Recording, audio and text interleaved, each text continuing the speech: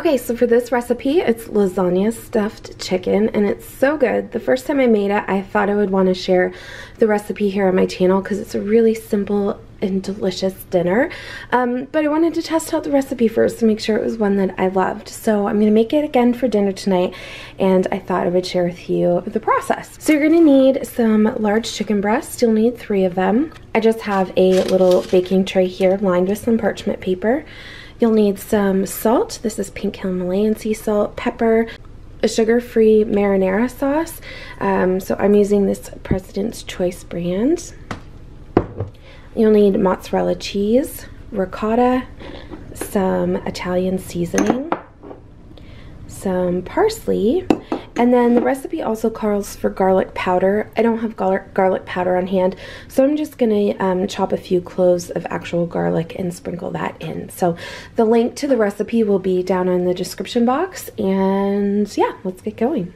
Oh, one more thing. You're also to need some avocado oil. I have to get that out.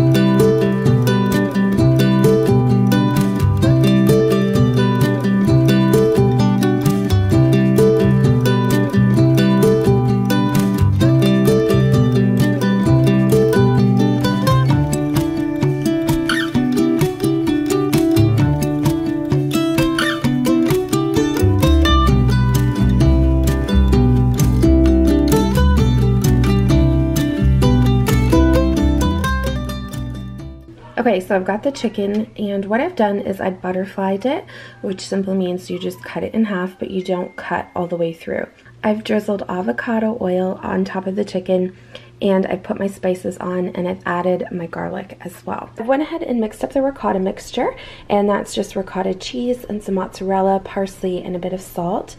And then what I'm gonna do is I'm going to portion it out on each of the chicken breasts, and then we'll fold everything closed and add um, some toppings.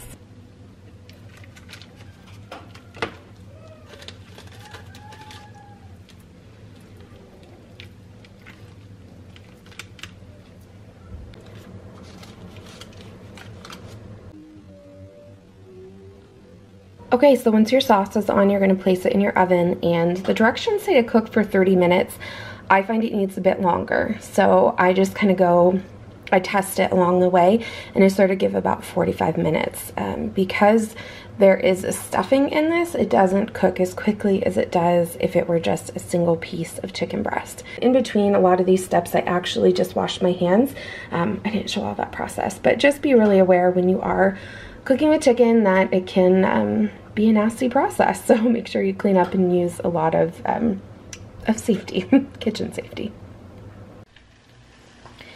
Okay, so once your chicken is done and cooked through, that's my oven, you're gonna go ahead and sprinkle some mozzarella cheese on top and then you're gonna stick it under the broiler for just about two minutes. Keep an eye on it because things can burn really quickly.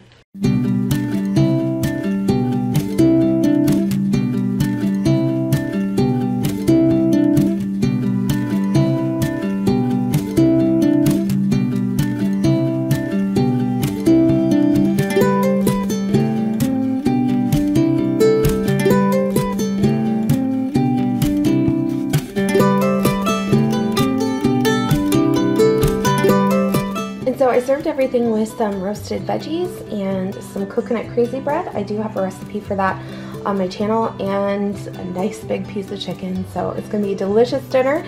Thank you guys so much for watching and I'll see you in my next one. Bye.